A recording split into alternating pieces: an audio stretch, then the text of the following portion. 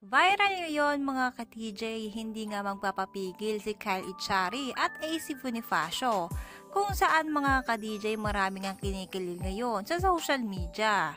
Ito ay matapos spotted ang lambingan nilang dalawa.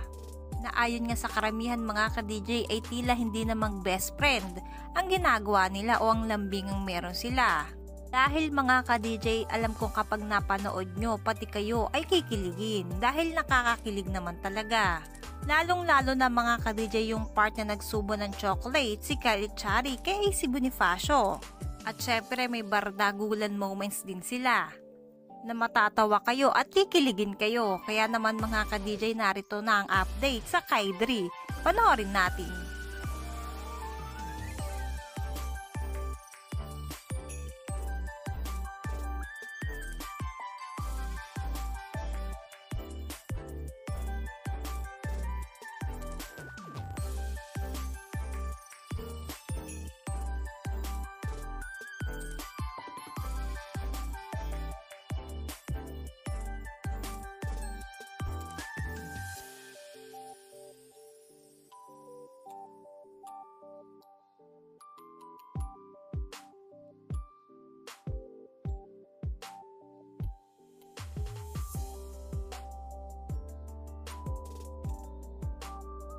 Isa din ba kayo mga ka-DJ sa kinilig sa Kaidri?